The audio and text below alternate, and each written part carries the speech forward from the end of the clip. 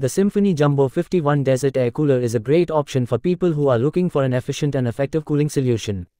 It comes with a large 51 liter water tank capacity, which makes it suitable for use in large rooms or open spaces. The air cooler is designed with aspen pads that provide efficient cooling even in hot and dry weather conditions. The cool flow dispenser ensures uniform distribution of water for efficient cooling.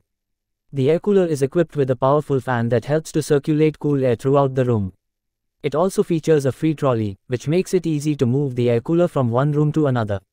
The Jumbo 51 comes in a sleek and elegant white design, which blends well with any home decor. One of the key benefits of the Symphony Jumbo 51 is its energy efficiency. It consumes very little power, making it an ideal cooling solution for people who want to save on their electricity bills. The air cooler is also easy to maintain, with simple cleaning instructions that can be done by the user themselves.